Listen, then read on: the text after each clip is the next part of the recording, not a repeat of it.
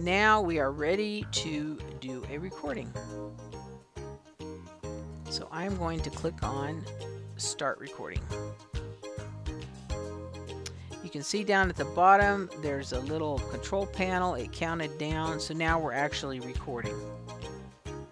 Okay, you'll notice there's a pencil down here. If you click on this, it'll give you colors that will highlight when you click your cursor on the screen. So yellow is always a good idea. If I wanted to point out something to the students, I could click my cursor and it will make a yellow spot wherever I click.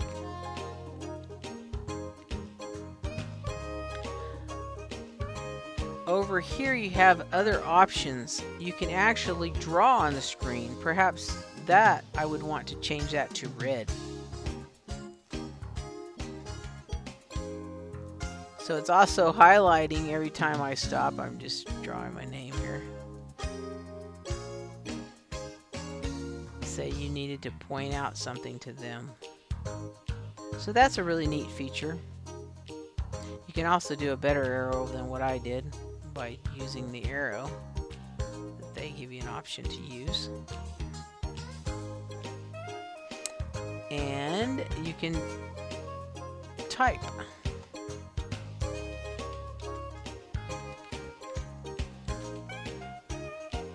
Whatever you'd like to say. Now I'm back to just the cursor and then the select tool. Selected all my items and I can move those. So quite a bit of functionality here and you can change the size of your uh, your cursor that or your marker if you're drawing, you want it to be more fine line, you can do that. See, even finer than that. Um, if you want to clear your screen because you're ready to talk about something else, just go ahead and click the little trash can here and it'll get rid of all of everything. So, you can pause the recording if you need to change to another slide. Um, I'm not doing that obviously, so I'm just going to end this recording by clicking on stop. Are you sure you want to stop? Yes, please stop it. Alrighty, so now we are back to the manage area that we saw before. Um, here's, remember we put the prefix of music. Now obviously this isn't a music video. It also has the date. Maybe you want to keep that. 09. Maybe you don't need the time on it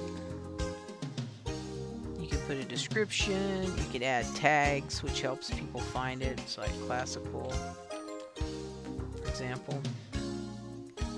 You can play the video here. Panel, it counted down. So now we're actually, so it recorded very well. That's really nice. So at this point I can save it. If I save it, it's going to go to the library. If I save and upload it, it's going to put it up in my media in Canvas. So first thing I'm going to do is save. So here it is in my library. I can now delete it or I can upload it. I'm going to click on upload.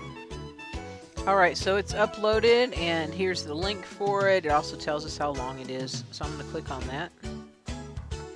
And here is my video. And as usual, you have some options in Canvas. One thing you can do is launch an editor and actually look at your video here and do some editing. So if you do need to cut something out um, or say you've got something at the beginning that recorded before you were ready to record, you can move that, save it. You can do all that in here. And then you can save a copy. So this concludes our third and final video in our tutorial about using the new Kaltura Capture. Contact the e-learning media team if you have any questions.